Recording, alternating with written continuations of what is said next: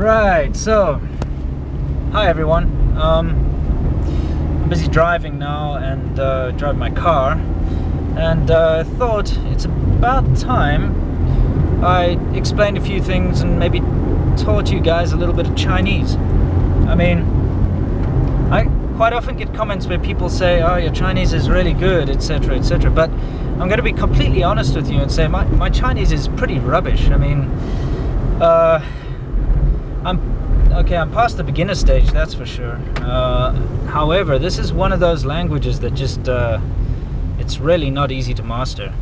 It's it's not as complicated as you think. In fact, Chinese is actually very easy when you think about the way it's put together. But um, there are just so many little intricacies, and you know, I guess it's like learning any language. Like English is, you know, if you're not a native speaker, there's just so much to it. But uh, I guess what I what I'm trying to say is that I can teach you guys if you are interested, and I think some of you are, some very basic Chinese. Um, which would help you out in a survival situation. I mean, I, am more than qualified to do that. I wouldn't ever try to teach you how to uh, negotiate a business deal or something. But uh, yeah, so let's just do that. Uh, get started. And I think what I'm going to do is because today is a for me it's a well it's already been a pretty long day and it's only 12 o'clock uh, you know noon uh, yeah at the end of the day when this day finally ends, which is uh, I don't know what time that'll be, I'm going to need a beer. And uh, I think the most important thing for you to learn, the first thing you should ever learn in any language is how to order a beer. So I'm going to explain that, but uh, I'll explain it in depth to you uh, a little later. So stick around and uh, learn how to order a beer in Chinese. Okay, so now um, today did turn out to be quite a day and a lot more difficult than I thought it would be. So um, I thought rather than just going out and getting a Chinese beer as usual, um, I'd go out and buy myself something expensive. Here. So I got myself a Paulaner. I really should charge them for advertising, don't you think? Anyway. Now, I said earlier I'd teach you some Chinese. Now I've been thinking about it and uh, it's a lot more complicated than I originally thought it would be because things that I take for granted are things that you just wouldn't know.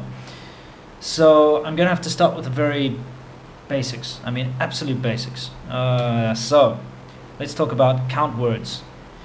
Count words are a pain in the ass. And um, basically, all they are are ways to differentiate different things. Like, you know, in English we say a glass of water or a bowl of soup or, you know, just to differ differentiate things. Now, in Chinese, it's very much the same. Like we say a bowl of rice, yi wan mi fan, and we say uh, can, yi guang, and we say, you know, anyway. I'm not going to get sidetracked with all that crap because um, I'm not here to teach you Chinese as in a proper Chinese teacher. I'm here to teach you survival Chinese, something to get you started. If you ever find yourself in China or if you just want to go have some fun, go down to the local Chinatown or something, you know, and try it out. That's what I'm going to do. And I'm teaching you Chinese, by the way, which is Mandarin Chinese. The official language in China, uh, not not Cantonese, which is what you hear in Hong Kong. Uh, just by the by. Okay, so now instead of having to use a specific count word, I'm going to teach you a magic count word, basically one that you can use for anything. It might sound a little strange sometimes. I mean, for instance, what I'm going to teach you is going to sound like you walking into a place and saying, I want one beer instead of a bottle of beer, which is more natural, obviously or you know maybe like I want one rice or I want one paper. Yes, it's going to sound unnatural, but people will know what you're talking about. So let's get on to it. The magic count word is g, okay? And that is spelt in pinyin ge. And of course, uh, the Chinese for one is yi. So if you want one something, you say yi ge. So this is what you must practice. Yi ge, yi ge, yi ge. All right, now I'm sounding like an idiot, but I guess you get the point. Now beer is... Uh, well, beer in Chinese is pijiu, okay. Now let's not pay too much attention to the tones, but um, I'll break it down for you. P is pi, all right, um, And Jiu, which is one of those, you know, goes down, goes up kind of tones. Jiu, all right, is Jiu means alcohol, P means I have no idea, and uh, put them together you get pijiu, which is beer. Okay, so now if you just walk into any place and you say Yiga pijiu, that means one beer. And if you walk into a restaurant and you just say Yiga pijiu, they will bring you one beer. They will, and that's just kind of how it works. You don't need to worry if you're getting it a little wrong, because you know if it's a bottle of beer, you'd say Ipin pijiu. If it's a can of beer, you say Guang pijiu. If you want a glass of beer, which you can't even order a glass of beer here, it's always by the bottle, it would be Ibei pijiu. So all you need to know is yi ge pijiu, okay? Remember that. So now that we know what one beer is, we need to know how to say I want, because obviously you have to say I want one beer. So um, let's take a look at I or me. I or me in Chinese is, well, in pinyin it's W-O, okay? And we pronounce it war, okay, war. So war is me, war Want is yao, that's Y-A-O. So we say 我要啤酒, okay, I want beer. But now we always have to say I want one or two or whatever. So 我要一个啤酒 is probably the sentence I say them have said the most in my entire time in China. Uh, yes, and it's uh, it's a good way to start. So let's see.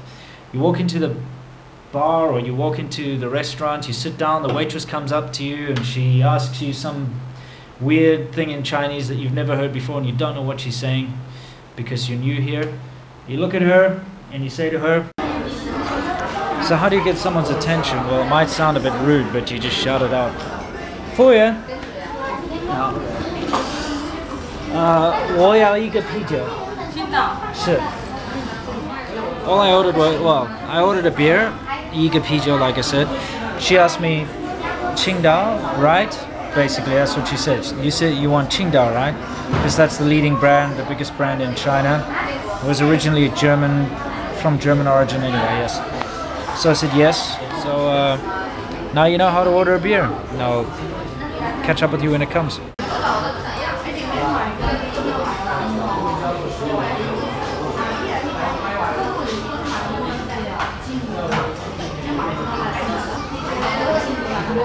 Not my beer.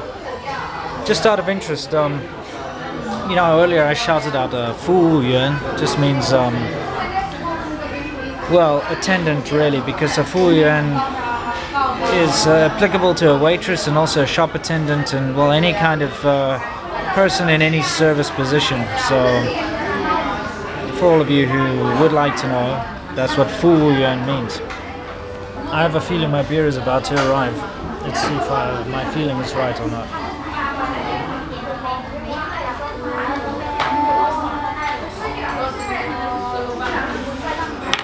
ah, 谢谢啊。好。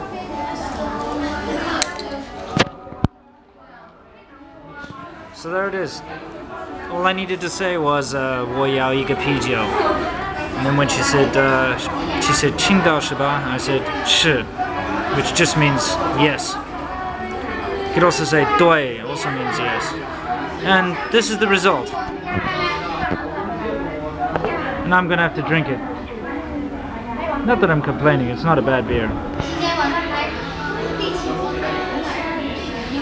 Uh, who am I kidding? It's in a glass already.